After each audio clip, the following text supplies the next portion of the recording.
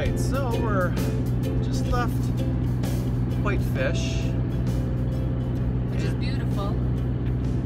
and we are now headed north to Eureka, Montana to cross over the border to Canada via Rooseville, I believe, or Grasmere. Is that Grasmere?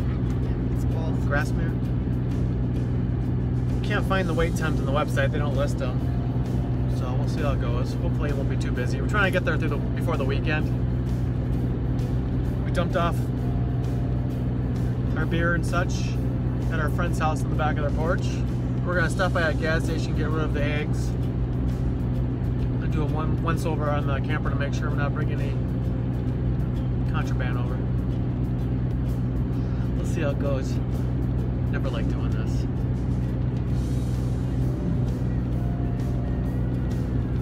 Canadian camper will help us with the uh, border crossers patrol.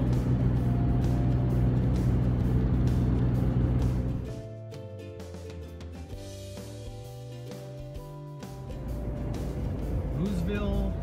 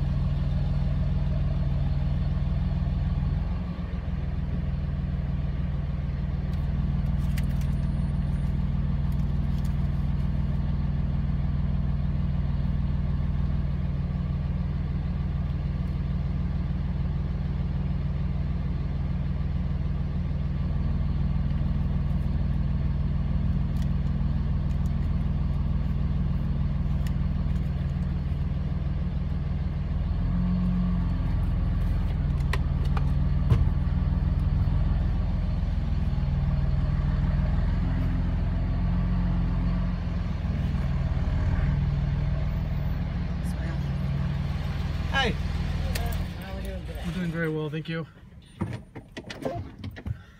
Where's home for everyone? Oh, Washington State. And where are we headed to? Uh, Alaska via Canada. Okay. How many days is it going to take you to drive through Canada to get to Alaska? We're thinking seven we have routed out. Do we have anything with us that we're bringing to Canada to sell, to leave, or to give away? No. Do we have anything with us for personal protection? No. No bear spray? Oh, we have bear spray. Yep, bear Alright. spray. Do we have any other defensive sprays like mace? Nope. Is there anything like a taser or stun gun? Nope, no taser or stun And guns. what about firearms? No firearms. Not even a little one? Not even a tiny one. Alright. Do you normally travel with firearms in the vehicle? You know, we did it in the United States for a little bit, then we stopped by Minnesota where my parents lived, we dropped all that stuff off. Okay, so no holsters, no mags, no Nothing like that, nope. Nothing like that. Nope. And has anyone asked you to bring mail or packages in Canada for them? Nobody. Okay, enjoy your visit. Thank you very Thank much. Thank you. Alright. Ready guys? Here go Canada, Isaac. Woo, Canada! Uh.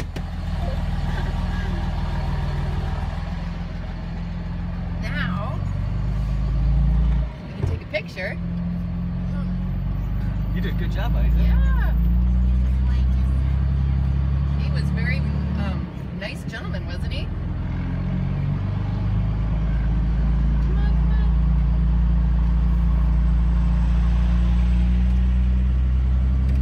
on. The US one looks a little more intimidating. And then cameras all over the place. Where? At the US one. Look at that's all they have for the Canadian side, and look at what the US has. There's a huge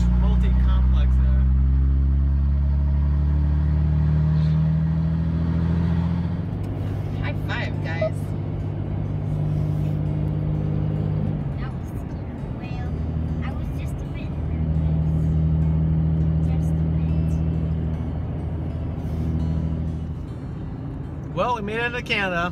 The Landmarks has made it to the second country. Woo! Yay! And it's beautiful. Yep. So there you go. 70 70 kilometers. per hour. Jeez, that's 45 miles per hour. Wait, what's this say here? Okay, 100.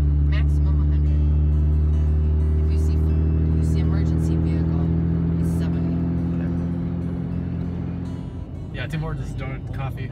They're like Dunkin' Donuts, Isaac. Yeah. Dr. Gordon loved those.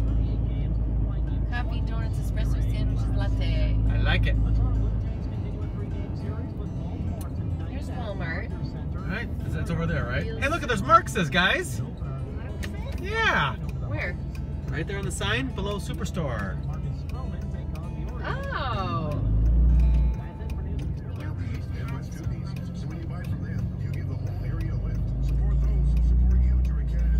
Turn right, then turn left.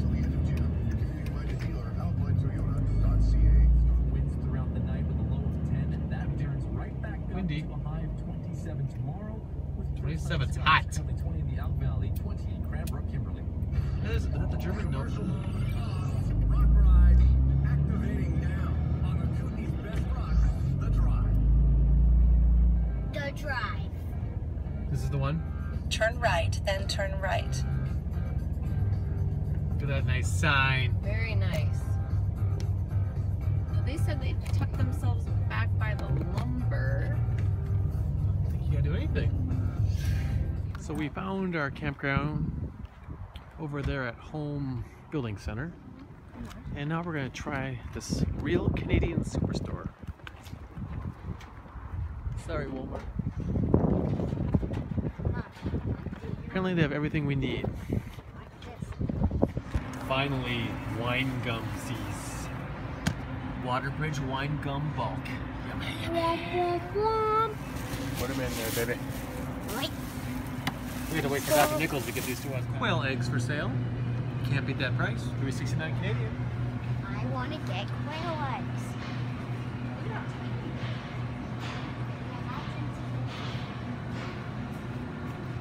Hopefully our credit card works here.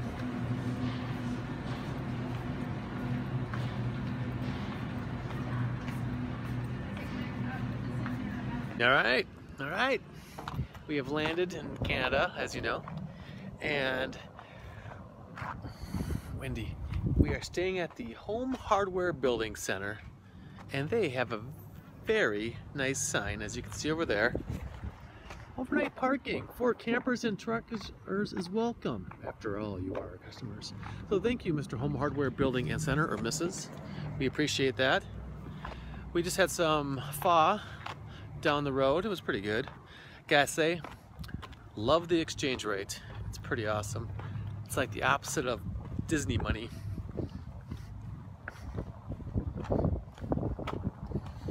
Junior here is enjoying a gigantic oversized chair. And uh, it's supposed to be windy and a little bit of rain tonight. Other than that, all is good.